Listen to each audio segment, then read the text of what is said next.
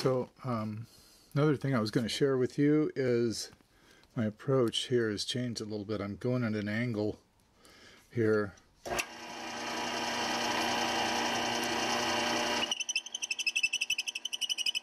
I'm getting it so I can, I got to hang on to it at the same time. So.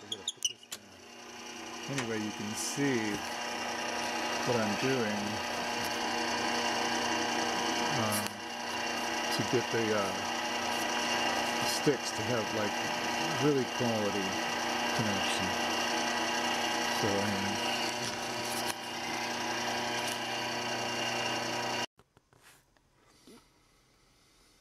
So here is the sticks the next day after the epoxy has had a chance to seep into the weave and it's all dry and everything. So now we'll just take it out of its little clamped up spot here.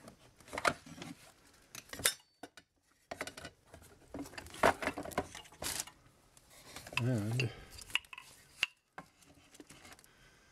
the um, epoxy was bumped up quite a bit and that happens. What happens then is put another uh, layer, another application of epoxy right there to get that nice and perfect. But then you got to go in and sand it down and everything, and um, that gets that gets very labor intensive.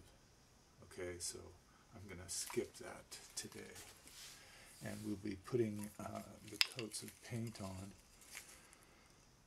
And then uh, this set will never come apart.